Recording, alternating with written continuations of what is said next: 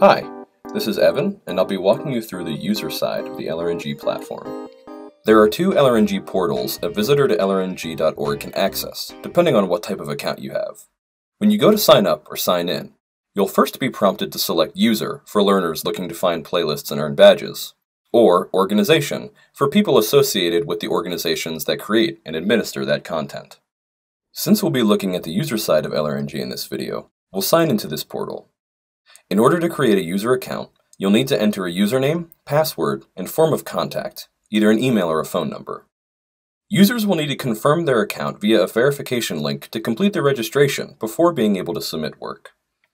Although users can sign up for accounts on their own, organizations can also send email or text message invites to users directly to skip this sign-in process.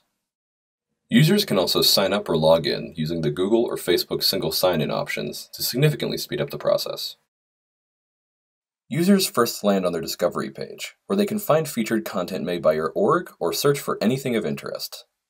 The discovery page shows the user's primary network feed at the top, followed org feeds below, content interest categories on the left, and a search bar at the top to try to find anything they're interested in. Users can add additional content feeds to their discovery page by visiting the page for an interest category and clicking the follow button. Through the same process, Users can also add feeds for specific organizations and custom keywords by searching for them and clicking the follow button.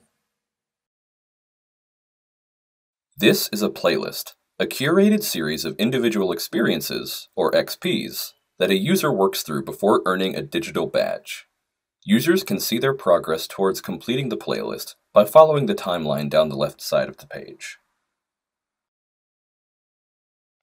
Each XP instructs the user to submit some form of work, whether a text-based answer, a file, or a web or video link. When all XPs are completed, users can send all their work on the playlist to a reviewer at your organization.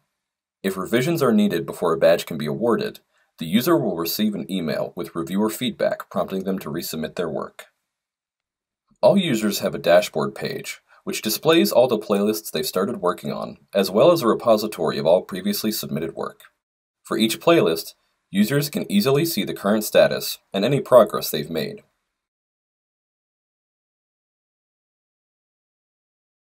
Clicking on any playlist here will take the user right back to where they left off. Users can also see any of their previously submitted work here in the My Stuff section. Additionally, Users can view any previously earned badges here and share them to a number of different social media networks.